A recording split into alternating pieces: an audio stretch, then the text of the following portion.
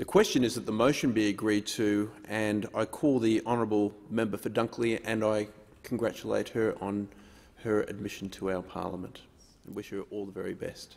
Thank you very much. You're welcome. Mr Deputy Speaker.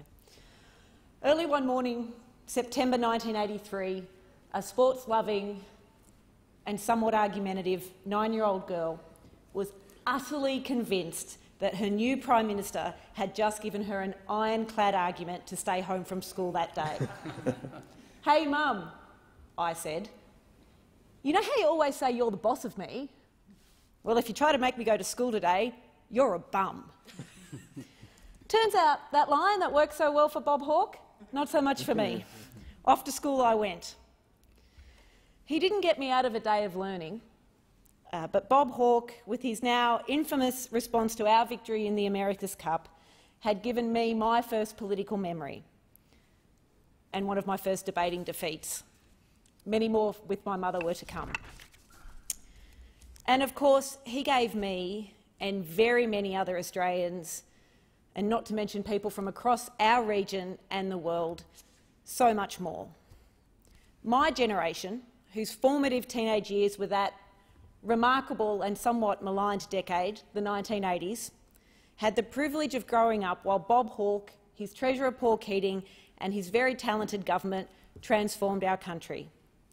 It did not matter that for most of us, Bob Hawke, the closest we ever got to him was the nightly TV news, because his presence, his personality, the pure Bob Hawkeness of him meant that we knew that he was our Prime Minister, not just the Prime Minister.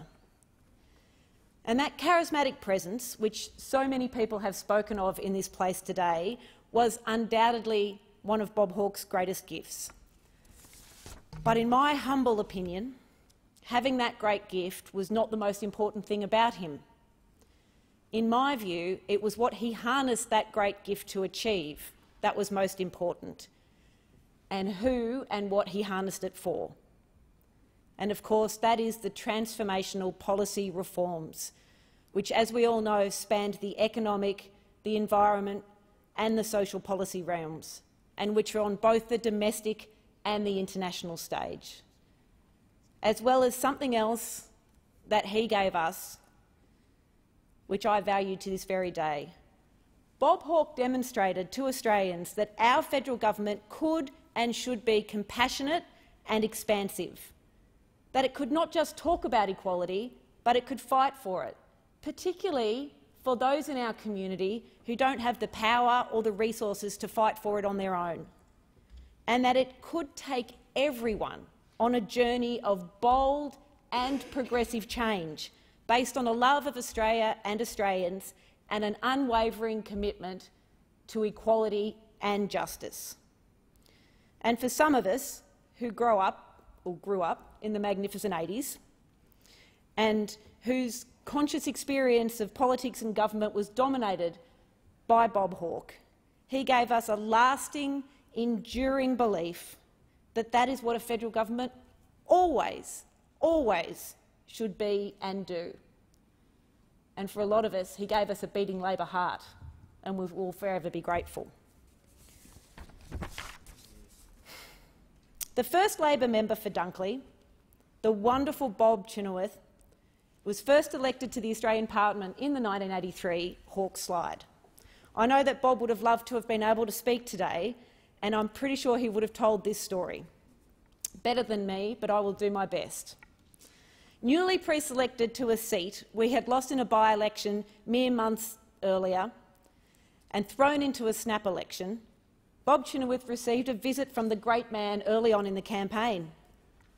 How you doing, Bob? Hawkey inquired. Well, I'm really just hanging on to your coattails, to tell the truth, the ever-humble Chynoweth confessed. The response? Don't worry, mate. So's everyone else.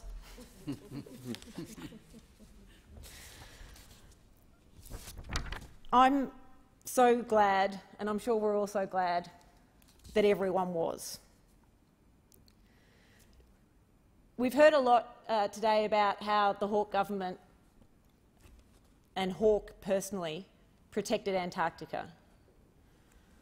It was the wonderful Bob um, from my electorate of Dunkley, who years after he was first elected, went on a parliamentary delegation to Antarctica and had a personal epiphany. And in his words, sat there and said, we have magnificent places like this, we must protect them. And Bob, when he returned back to our community and then to Canberra, started a campaign, you know, for and slightly against, but to influence the Hawke government and its cabinet ministers to reverse Australia's position as it was then on the Mineral Convention. Bob Chynoweth um, lobbied cabinet ministers, but he also collected more than 20,000 signatures um, of Australian citizens and tabled them in this place, asking for Australia's position to change. And when that went before the Hawke cabinet, as we all know, Hawke took up that challenge. He took up that challenge and he fought for something that was right and something that was lasting and something that was a legacy. And my community are very proud of the role that our former Labor member played um, in that legacy. But it's not just a legacy of great policy. It is a demonstration, an illustration of what Bob Hawke taught people my of my generation and some of our parents to expect from their federal government. That is, to identify what is important and what is right, and then to fight for it, even if fighting for it is hard, even if vested interests and the rules of the game say that you shouldn't, even if you have to battle to take others, including the electorate, with you. Bob Hawke was Australia's greatest Prime Minister. And while the generations that came under me, after me, after me didn't get the opportunity to live under his government, no doubt they are continuing to benefit from the reforms that were put in place to this day, and the generations to come will so do. The great Bob Hawke will always be loved, and he will be missed. His legacy will live on. It will live on in the way he changed our country and in the way he influenced the political philosophy of so many Australians, Australians that I am proud to say are like me. On behalf of my community of Dunkley and on behalf of Bob Chynoweth, condolences to Bob Hawke's family and to all who loved him. I thank the